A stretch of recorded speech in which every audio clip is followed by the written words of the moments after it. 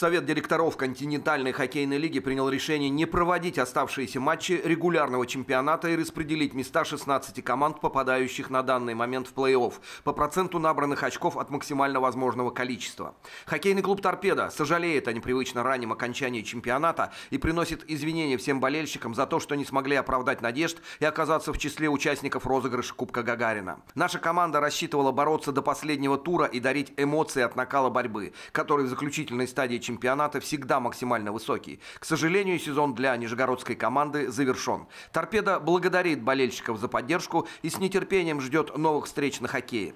В ближайших планах нижегородской команды проведение мастер-классов для юных хоккеистов в различных уголках Нижегородского региона и участие в товарищеском матче с командой СКА в Санкт-Петербурге 26 февраля. В связи с досрочным окончанием сезона хоккейный клуб «Торпеда» принял решение по взаимному согласию сторон расторгнуть контракты с рядом игроков команды, чтобы они могли получить практику в других чемпионатах. Петр Кочетков отправился в расположение клуба НХЛ «Каролина», Даниэль Заар, Теодор Ленстрем и Зиад Пайгин продолжат свою карьеру в чемпионате Швеции. С хоккеистами, которые будут необходимы торпедо в следующем сезоне, достигнута договоренность об их возвращении в Нижегородский клуб.